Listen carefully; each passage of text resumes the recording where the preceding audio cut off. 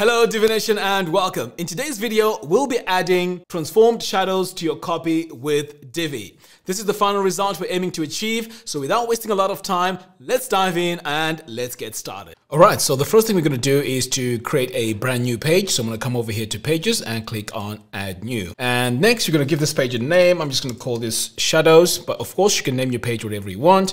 And then I'm going to click on use Divi Builder. Next, I'm going to build this from scratch, but of course you can use this technique on any existing pages. All you have to do is to add a new section. All right, so now that I've added a section here, I'm going to come over here to my section settings and remove all padding. So I'm going to come over here to design, spacing, and I'm going to add zero to my padding here and also apply the same to the bottom. Next, we're going to come over here to advanced, visibility, and then we're going to add our overflow. So in this case, we're going to add a horizontal overflow to hidden, and we're going to do the same to the vertical overflow. And then for now, we're going to save. Next, I'm going to come over here, click this plus button to add our row. And what I'm going to go with here is two thirds, one third. So I'm going to go ahead and select this column structure. Now let's head over to this the uh, row settings. So I'm going to click here on this gear icon and uh, while I'm here, I'm going to start by adding my gutter width. So I'm going to come over here to design, sizing, and then I'm going to activate my use gutter width. And then I'm going to set this to one. Uh, what I'm basically doing here is to remove the spacing between the columns. All right, so now that I've done that, I'm also going to equalize my column heights, and then I'm going to set my width to 100%. So I'm going to scroll down here to width, and then I'm going to type in 100% and maximum width here needs to be set to 100% as well. So this design now is going to be edge to edge. Now let's head over to the spacing. So I'm just going to scroll down here and click on spacing. Now over here we need to add a left and right padding of 4VW. So to apply this to the right, I'm just going to activate my chain. And then over here for the bottom padding, I'm going to set this to zero. Now it's time to add our module. So I'm going to save this and then I'm going to come over here to column one and add a text module. So I'm going to start by searching for it and then select. And then in here, we're just going to add text which says beautiful. Now let's head over to our text settings and customize this text. So I'm going to click here on text and let me start here with my text font. So here we're going to start with uh, selecting Playfair display. So here it is. I'm going to select it. And for my text alignment, I'm going to align this to the right. Right, so the next thing we're going to do here is to set our color. So I'm going to click here on this eyedropper tool and this color here needs to be white. So I'm going to go ahead and select that. So right now it may seem like it's all disappeared. We're going to fix this in a, in a moment. So over here on the text size, I'm going to set this to 11VW. So this is going to be nice and big. And also here on the uh, text line height, I'm going to set this to 1 EM. Now for our text to show, I'm going to add a bit of a shadow here. So the, uh, the option I'm going to go with is this one right here. So I'm going to select it and now you can see that the text is now showing because we've just added this shadow. Now let's customize the shadow as well. So we uh, here we're going to start with our text shadow horizontal uh, length. In fact, it's vertical length and we're going to set this to 0.02 EM. And over here for our blur strength, I'm going to set it to 0.6. And then finally for my text shadow, I'm going to click here on this eyedropper tool and paste my color between the brackets. Now, if you want to use the exact same colors I'm using here, I'm going to leave a link to the post in the show notes below. Right, so uh, we're just pretty much done here with this design. In fact, let me just make sure I have everything all set. Uh, the one more thing that we need to do here, as you can see here, by default, it's set to regular uh, font weight. Let's change this to bold so it is nice and bold. All right, so now that I have that all set, I'm gonna save this and then over here, I'm just gonna duplicate this and then I'm gonna go in and just change this word and uh, instead of saying beautiful, I'm gonna set this to view. So pretty much we're done here, but you know what? We're gonna add another text module. Okay, so I'm gonna click here on this plus button and search for text, select it, now again, we're going to add the same word as we did before. We're going to call this beautiful. So what we're going to do this time is we're going to be using this text as the shadow. So let's go ahead and customize this. So the next thing I'm to do here is to click here on design text and then I'm going to change my font to Playfair display And we're also going to set this pretty much to the same settings. We're going to set this to bold. And uh, over here on the text alignment, it's going to be aligned to the right. And we're also going to add our text color.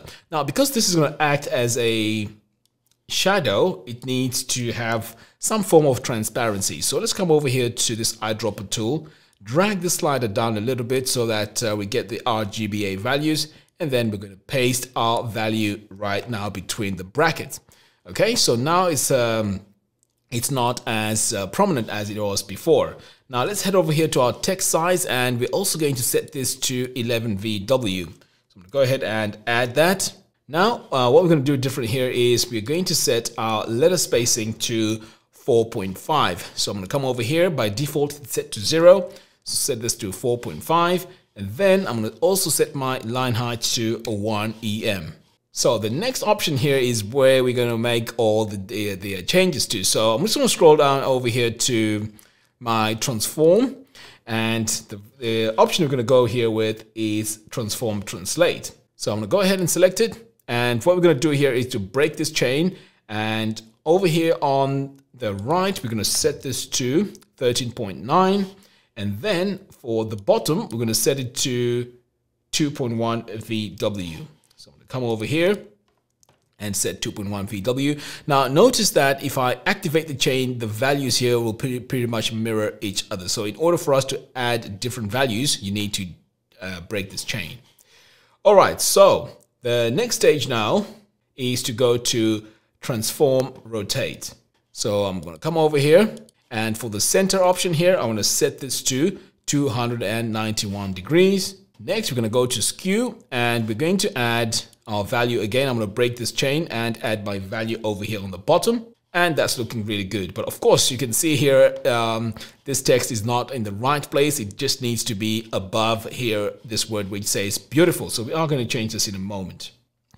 So I'm just going to save this and then I'm just going to drag. In fact, you know what? I'm not really sure what I'm dragging here. So I'm going to click here on these three little dots and go into my wireframe mode. So this is the text that we've just been customizing. I'm just going to drag it over here to the top. And then I'm going to go back to my desktop view. And now you can see our shadow is now applied to the word beautiful. And it is looking beautiful indeed.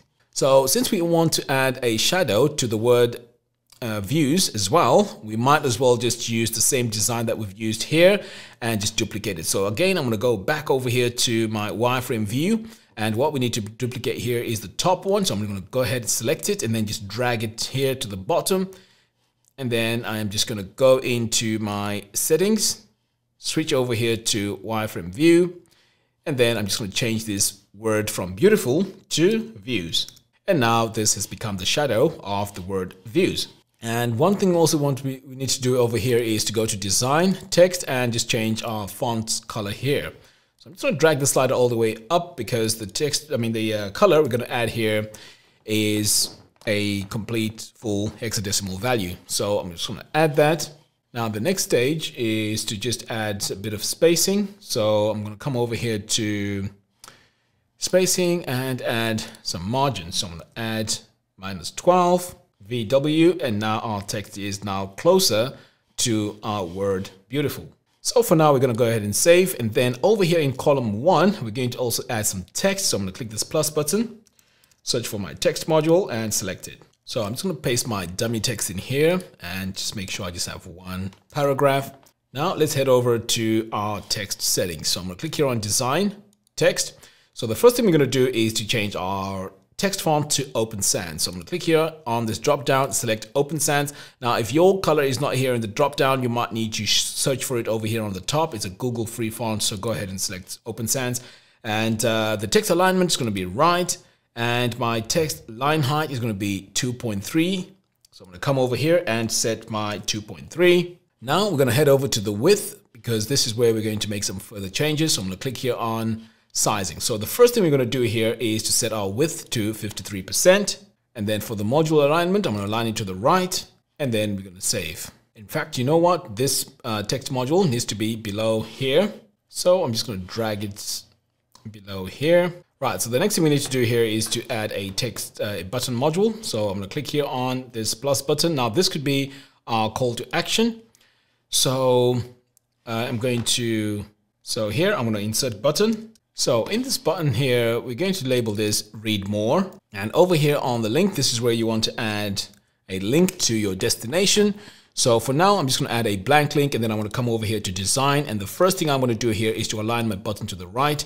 So that is in line with uh, all the designs that we've done so far. Now to customize the look and feel of our button, we need to come over here to button and activate use custom styles for buttons. So I'm going to say yes to that. And then uh, I'm going to start with my button text size. So right now it's set at 20. Uh, pretty much I'm happy with that. Now I'm going to add my button background color. So I'm going to come over here, click this plus button, and I'm going to paste my color in here. Now, as I mentioned before, if you want to use the exact same colors as I'm using throughout this tutorial, I will leave a link to the post in the show notes below. All right, so now that I've added this, I'm going to come over here and add my border width. So I'm going to set this to zero. And for the button border radius, I'm going to set this to 50 just to change the design a little bit. All right, so for the button text uh, font, I'm going to change this to Playfair. Now, this is the font that I used earlier on uh, here where it says beautiful in views. So pretty much we're just keeping our design consistent there. All right, so now that I've added my font, as, as you can see, it's not uh, easy to read. So we are going to change the color of our font. So I'm going to change this to white so it's easier to read. And now you can see here that it's now easier to read. Now let's uh, add a bit of spacing. So I'm going to scroll all the way down here to spacing. And I'm going to start by adding a top margin of 2 VW. So for the bottom margin, I'm going to set this to 3 VW. And then over here for the top and bottom padding, we're going to set this to 20 pixels. Activate my chain. And then for the left and right padding, I'm going to set this to 50 pixels. And again, I'm going to I'm going to set this to both the left and the right. So now we have a nice big button. All right, so pretty much our button design is done. I'm going to go ahead and save. Now over here on the right side, this is where now we want to add our images. So I'm going to come over here, click this plus button and add my first image. So I'm going to search for it and select it. And then I'm going to click anywhere around here on this um, default image and then I'm going to go ahead and choose this one here. Now, take a look here. We also have the size is 682 by 682. So if you want to use your own images, make sure it's a square and these are the dimensions. I'm going to click upload an image. Now I'm going to come over here to design, sizing, and I'm going to force full width. And then over here on the spacing, I just need to add some margin to the top of this image. So I'm going to set 2 VW as my margin there. And then we're also going to do a bit of a style to our image. So I'm going to come over here to border. Now, in order for this image here to be in a circle, we need to apply rounded corners. And the value I'm going to use here is 50 VW. And notice that this has been applied to all the sides because my chain is activated. If I deactivate this chain, you'll notice that the 50 VW will only be applied to the side which I add the value to. So now we have a perfect circle. So we're also going to go ahead and add a shadow to our design here. So I'm going to go to box shadow and the option I'm going to go with is this one right here. So I'm going to start with my horizontal position, set this to minus 300. And for my vertical position, it's pretty much going to be the same. So I'm going to go ahead and paste it in here. And then I'm going, to, oh, I'm going to go in and add my color. So I'm going to click here on this eyedropper tool and paste my values of my transparency between the brackets. And then pretty much I'm going to save. Right, so as you can see, our design here is really coming together. Let's go ahead and add another image. So I'm going to click on this plus button and search for my image module and select it. Click here around this um, dummy image. And the image I'm going to go with is pretty much this one here. So I'm going to go ahead and select it. And again, my size here is 768 by 768. Upload an image. Right, so here we are going to uh, adjust the sizing a little bit here. So I'm going to click here on design, sizing. So here for the width, I'm going to set this to 62%. And as we did before, we like to see our image here in a circle. So I'm going to come over here to border and add 50 VW. Now, just one quick note here. If you don't use a square image, you won't have a perfect circle when it comes to achieving this um, this design right here. So you need to make sure you have a circle and then if you add your rounded corners, they then will form the complete circle. Now, as we did before, we're also going to add a box shadow. So I'm going to come over here and choose the same design as we chose before And then I'm going to start with my horizontal position and set this to minus 200. And then I'm also going to add a vertical position of 150. I'm going to add it in here. And then I'm going to add my shadow color by clicking here on this eyedropper tool. Now this time this is going to be a solid color. So I'm just going to drag all this the slider all the way up and then paste my value. Right, so the next stage is to come over here to my transform options and I'm going to go to transform translate and what I'm going to do here, here is I'm going to first start by breaking this chain because the values I'm going to add. So I'm going to start by breaking this chain because the values I'm going to add here are both different. So I'm going to start by adding minus 13 VW. And then over here on the bottom, I want to set this to 19 VW.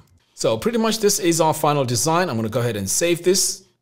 I'm going to save this page one more time and then exit the Visual Builder. So there you have it. Thank you all for watching. If you like this video, please give me a thumbs up and do follow us on our social media platforms. By doing so, you'll be notified every time we release new tutorials. And if you have any questions regarding this tutorial, please leave your questions in the comments box below. Until next time, thanks for watching and I'll see you in the next video.